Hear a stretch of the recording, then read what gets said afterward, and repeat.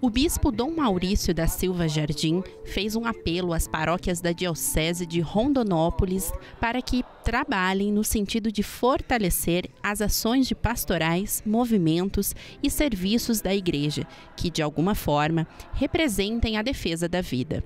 Foi durante a homilia da missa celebrada na Catedral Santa Cruz, no encerramento da caminhada pela vida e contra o aborto.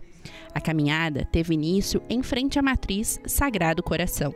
Dom Maurício Jardim lembrou que a vida humana é um dom de Deus, por isso, inegociável, e deve ser defendida desde a concepção até a morte natural, sem qualquer exceção ou pretensa justificativa. Nós queremos também nos manifestar como católicos, um não ao aborto, um sim à vida, ao cuidado desde a concepção até a morte. Nós fomos criados à imagem e semelhança de Deus, por isso vamos agora caminhar, demonstrando a nossa fé e nosso, nosso grito de direito à vida. No trajeto da caminhada, a reza dos mistérios dolorosos do Santo Terço foi a base das meditações sobre o papel da Igreja, de cada cristão católico, da família, das autoridades políticas e da sociedade, contra qualquer mecanismo que se crie para abreviação ou eliminação da vida.